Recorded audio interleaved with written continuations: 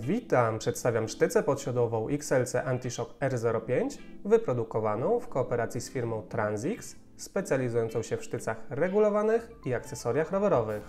Sztyca jest wykonana z lepszego aluminium serii 2014, posiada średnicę 27,2, 350 mm długości i wyprodukowano ją na Tajwanie, chociaż firma jest niemiecka.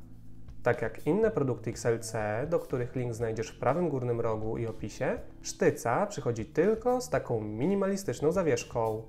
Jeśli film Ci się podoba i uznasz go za użyteczny, będę wdzięczny za lajka i subskrypcję, to bardzo pomaga w rozwoju kanału.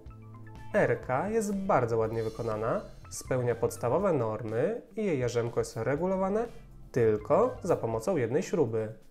Co ciekawe, jest też cieniowana w środku tak jak dużo droższe sztyce, np. Thomson. Dzięki takiej budowie i obróbce jest lżejsza i wygodniejsza, gdyż bardziej się ugina, przez to wybiera nierówności. Ale o co chodzi z tym antiszokiem?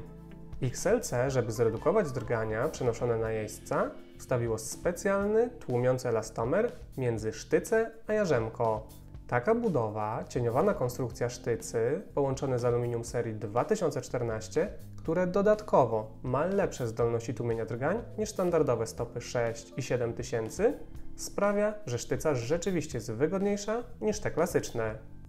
Jednocześnie, mimo tych wszystkich bajerów, XLC zachowuje całkiem niezłą wagę, wynoszącą nieco ponad 300 gramów.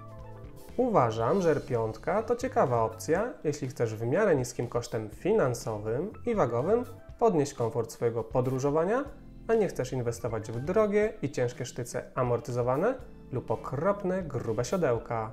Jeśli jednak zależy Ci tylko na niskiej wadze i dobrej jakości w rozsądnej cenie, to są i takie produkty XLC i jest też Pro czyli podmarka Shimano, która ma w ofercie bardzo dobrze wykonane części z lepszej jakości aluminium w rozsądnej cenie. Uprzedzam tylko, że drobnym minusem produktów obu firm jest delikatna i łatwo rysująca się anoda.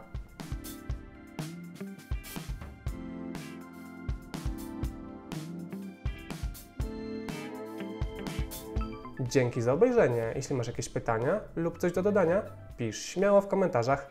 Cześć!